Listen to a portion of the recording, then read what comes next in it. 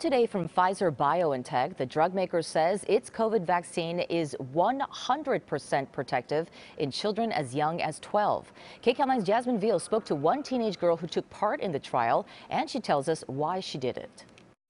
You can sit right here. We caught up with 13 year old Emma Kate Stibler. She was coming off the snowy slopes of Utah on her first family vacation in a year because of the pandemic. It's been difficult because for a while I had to do online learning and a lot of sports I couldn't participate in. But since January, the teen from Tennessee has been participating in Pfizer's vaccine trial for pediatric patients ages 12 to 15. I did it to help get information and data on children when getting vaccinated. On Wednesday, the big news from Pfizer that the preliminary data from the study of over 2,200 participants like Stibler shows there were no cases of COVID 19 among the fully vaccinated adolescents. Researchers also reported finding high levels of the virus fighting antibodies. It's great to hear that because now teens can get vaccinated sooner. Stibler still doesn't know if she got a dummy shot or the real vaccine, but she has a guess. I think I probably did get the real one because